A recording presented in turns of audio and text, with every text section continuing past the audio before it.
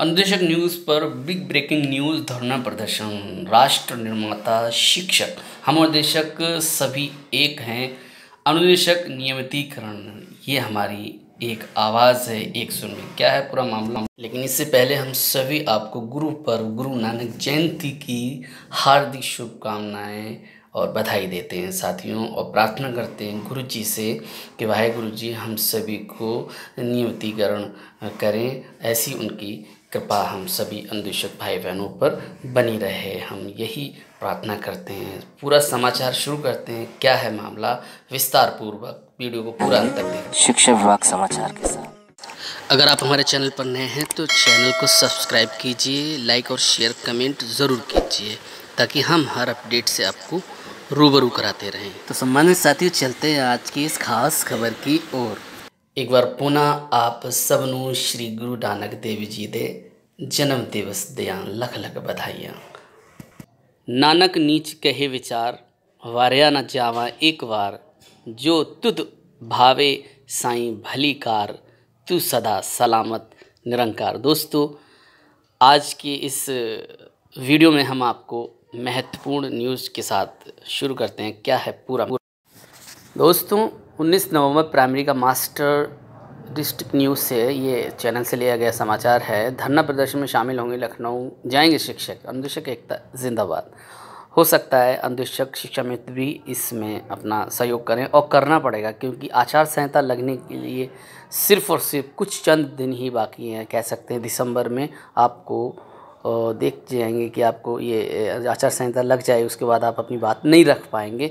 ये आखिरी धरना प्रदर्शन हो सकता है आप सभी का अपनी मांगों को रखने के लिए, संवैधानिक मांगों को रखने के लिए। वो आपका हक है और अधिकार है। यहाँ पर मैं कहना चाहूँगा कि कुछ काम करो, कुछ काम करो, जग में रहकर कुछ काम करो। ये जन्म हुआ किस अर्थ रहा समझो जिसमें ये व्यर्थ ना हो। कुछ तो उपयुक्त करो तन को, नर हो न निराश करो मन को। दोस्तों, किस बात की निराशा है?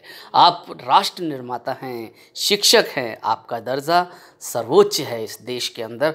आप अपनी बात संवैधानिक तरीके से कॉन्स्टिट्यूशनल के दायरे में रहते हुए रख सकते हैं और आपकी बात को आज नहीं तो कल ज़रूर माना जाएगा।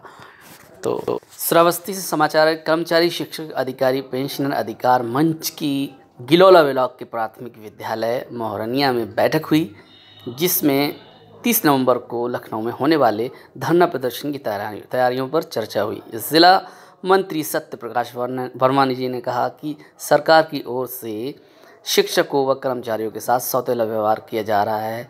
समस्याओं का निराकरण नहीं हो रहा है। ऐसी स्थिति में अपनी मांगों के समर्थन में धरना प्रदर्शन किया जाएगा। ऐसा ही अनुदेशक और शिक्षा मित्रों के साथ भी हो रहा है। उनकी एक भी बात नहीं मानी जा रही है। आप लोगों को इनका सहयोग देना चाहिए।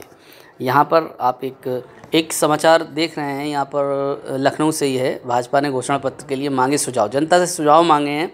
मेरा ये मानना है कि हम अनुदेशक और शिक्षा मित्रों को इस व्हाट्सएप नंबर पर सिर्फ़ सिर्फ़ ये लिखकर नियमितीकरण, अन्वेषण नियमितीकरण। बस इतना छोड़ दीजिए, सरकार तक बात पहुँच जाएगी। मुख्यमंत्री जी वादा निभाओ, योगी जी बताएँ, पापा सात हज़ार में घर कैसे चलाएँ?